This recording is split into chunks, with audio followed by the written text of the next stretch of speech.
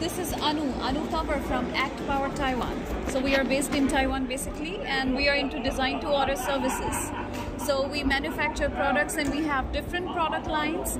So basically today in the Infocomm, we are presenting Pro AV solutions. So that is we have encoders, decoders, we have switch, and then we have multiviewers. So as you can see, we have encoders and decoders in which we have different sources and then different sources we can display in the outputs and we can create our own video wall solutions. And on the other hand, we have multiviewers in which we have one display in which all you know different outputs can be shown in uh, one simultaneously or at single point of time. Now these kind of solution can be used in the control rooms, like for the traffic control rooms, for the surveillance rooms, etc. And uh, our company is into design to order services where we customize products according to customer requirements. We also have standardized products and different product lines. Thank you.